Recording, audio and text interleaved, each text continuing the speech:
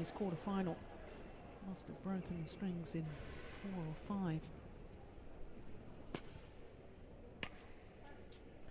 Oh, I'm very surprised the coach is having to do that. Hasn't he got somebody to help him?